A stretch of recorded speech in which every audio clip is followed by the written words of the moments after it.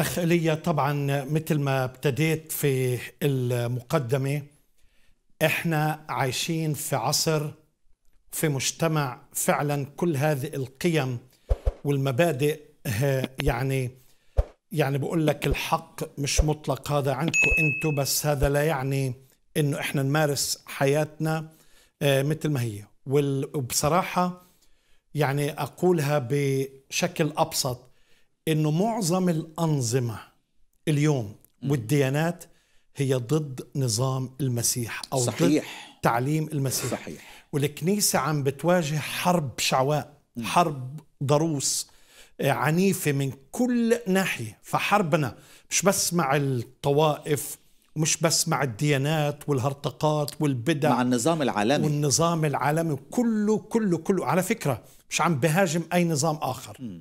كله بالنسبة لهم ماشي. إلا لما بتيجي عند يسوع المسيح ومع أنه يسوع بشهادة الأعداء قبل الأصدقاء أنه كان بار وكان قدوس وكان طاهر وكانت حياته كاملة. حياته الأخلاقية والأدبية يعني الناس كانت شايفتها لا غبار عليه. ومع كل هذا الكنيسة اليوم تهاجم في هذا الأمر.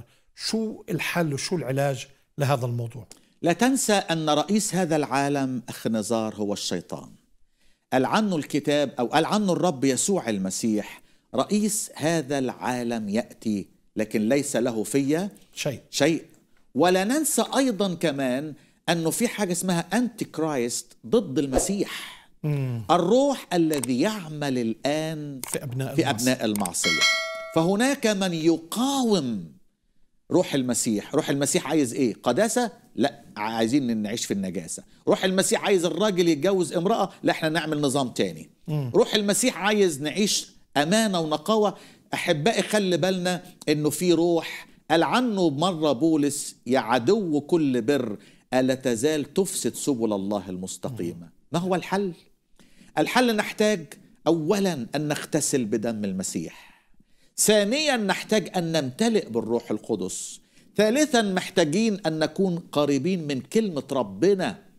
حب قوي الكلمة اللي قالها الكتاب عندنا الكلمة النبوية وهي أثبت. أثبت التي تفعلون حسنا إن انتبهتم. خلينا في صف ربنا.